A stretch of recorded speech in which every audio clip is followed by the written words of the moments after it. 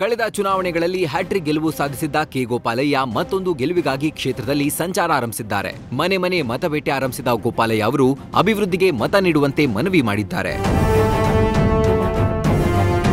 Mahalakshmi layout ವಿಧಾನಸಭಾ ಕ್ಷೇತ್ರದ ನಂದಿರಿ ಬಡಾವಣೆಯ ಕಂಠೀರವ ನಗರದ ಎರಡನೇ ಹಂತದಲ್ಲಿ ಗೋಪಾಲಯ್ಯನವರು ಮನೆ ಮನೆಗೆ ತೆರಳಿ ಮತಯಾಚನೆ ಮಾಡಿದ್ರು. ಬಿಜೆಪಿ ಸರ್ಕಾರದಿಂದ ಕ್ಷೇತ್ರದಲ್ಲಿ ಈವರೆಗೆ ಕೈಗೊಂಡಂತಹ ಉತ್ತಮ ಆಸ್ಪತ್ರೆಗಳು, ಕುಡಿಯುವ ನೀರಿನ ಘಟಕ, ನವನಂದಿನಿ ಪಾರ್ಕ್, ಸರ್ಕಾರಿ ಶಾಲೆ, ಮಹಾನಗರ ಪಾಲಿಕೆ ಶಾಲೆಗಳು, ಉದ್ಯಾನವನ ನಿರ್ಮಾಣ ಹಾಗೂ ಕೋವಿಡ್ ಅವಧಿಯಲ್ಲಿ ಆಹಾರ ಕಿಟ್, ಆರೋಗ್ಯ ಕಿಟ್, ರಸ್ತೆ ನಿರ್ಮಾಣ ಹೀಗೆ ಹಲವಾರು ಅಭಿವೃದ್ಧಿ ಕಾರ್ಯಗಳನ್ನು ಜನರ ಮುಂದೆ ಇಟ್ರು. ಜೊತೆಗೆ ಮತ್ತೊಮ್ಮೆ ಮಹಾಲಕ್ಷ್ಮಿ ಲೇಔಟ್ ಕ್ಷೇತ್ರದಲ್ಲಿ ಬಹುಮತದಿಂದ ಗೆಲ್ಲಿಸಬೇಕಾಗಿ ಜನಸಾಮಾನ್ಯರಲ್ಲಿ ಮನವಿ ಮಾಡಿದ್ರು.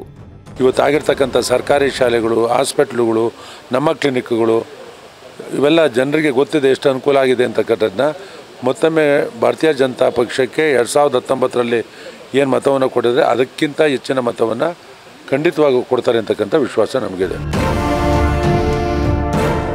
ಇದೇ ಸಂದರ್ಭದಲ್ಲಿ ಮಾಜಿ ಶಾಸಕ ನೆಲ ನರೇಂದ್ರ ಬಾಬು ಡಾಕ್ಟರ್ ಗಿರೀಶ್ ನಾಶಿ, ಮಾಜಿ ಬಿಬಿಎಂಪಿ ಸದಸ್ಯ ರಾಜೇಂದ್ರ ಕುಮಾರ್, ವಾರ್ಡ್ ಅಧ್ಯಕ್ಷ ಲೋಕೇಶ್, ರೇಣುಕಾರಾಧ್ಯ ಹಾಗೂ ಸ್ಥಳೀಯ ಬಿಜೆಪಿ ಮುಖಂಡರು ಕಾರ್ಯಕರ್ತರು ಗೋಪಾಲಯ್ಯ ಅವರಿಗೆ ಸಾಥ್ ನೀಡಿದರು.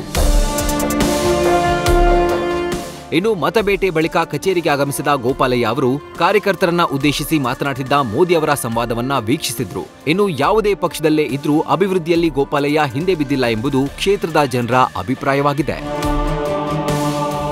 Ganapati news first Bengaluru.